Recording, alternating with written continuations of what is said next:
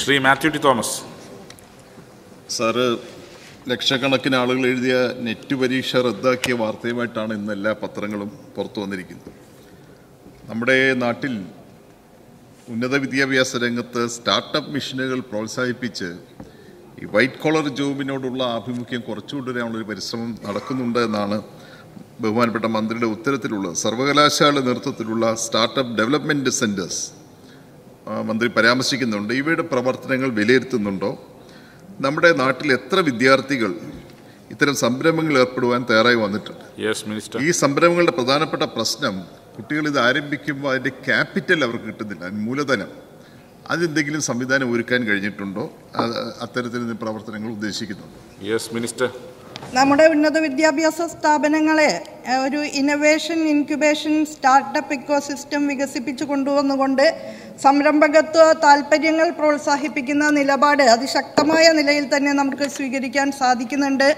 K disc Kerala knowledge economy mission Kerala startup mission additional skill acquisition program Kerala ഇങ്ങനെ വിവിധങ്ങളായിട്ടുള്ള ഏജൻസികളുടെ സംയോജനത്തോടെ നല്ല നിലയിൽ തന്നെ നമുക്കത് മുന്നോട്ട് കൊണ്ടുപോകാൻ സാധിക്കുന്നുണ്ട്.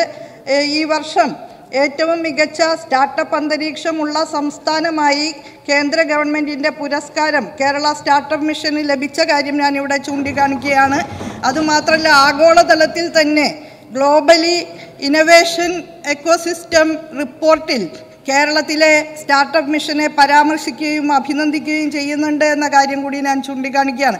കുട്ടികളുടെ സംരംഭകത്വ പ്രോത്സാഹനത്തിന് യങ് ഇന്നവേറ്റേഴ്സ് പ്രോഗ്രാം നൂതനമായിട്ടുള്ള ആശയം മുന്നോട്ട് വയ്ക്കുന്ന വിദ്യാർത്ഥിക്ക് അഞ്ച് ലക്ഷം രൂപ മുതൽ ഇരുപത്തിയഞ്ച് ലക്ഷം രൂപ വരെ സർക്കാർ സാമ്പത്തിക സഹായം നൽകുന്നുണ്ട്. പൊതുവിൽ അഞ്ച് ലക്ഷം കൂടുതൽ നൂതനവും കൂടുതൽ സോഷ്യലി അപ്ലിക്കബിളുമായിട്ടുള്ള ആശയമാണെങ്കിൽ കൂടുതൽ തുക നൽകിക്കൊണ്ട് തന്നെ പ്രോത്സാഹിപ്പിക്കുന്നുണ്ട്. മെന്ററിങ്ങും ഗൈഡൻസും അവർക്ക് വേണ്ടുന്ന എല്ലാ ഇൻസ്റ്റിറ്റ്യൂഷണൽ സപ്പോർട്ടും ഞാൻ നേരത്തെ സൂചിപ്പിച്ച വിവിധങ്ങളായ ഏജൻസികളുടെ സംയോജനത്തിലൂടെ ഉറപ്പാക്കുന്നുണ്ട്.